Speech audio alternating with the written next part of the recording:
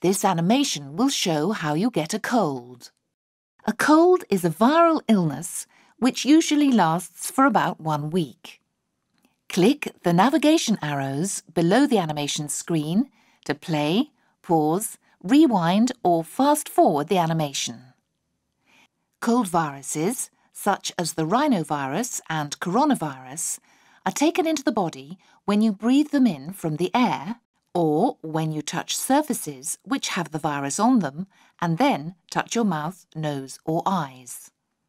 You can also get cold viruses from close or direct contact with someone with the virus, by kissing someone with the virus, for example. The eyes, nose, mouth and airways are all connected. Cold viruses can pass through these tubes and cavities to cause the symptoms of a cold.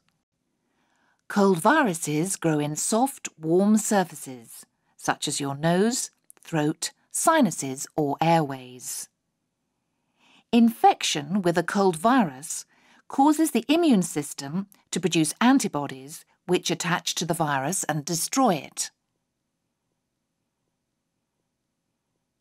Your body also makes mucus which traps the viruses.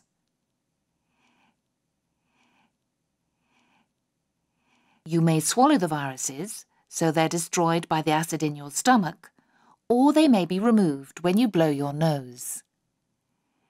Excess mucus production causes the symptoms of a blocked nose, sneezing and coughing.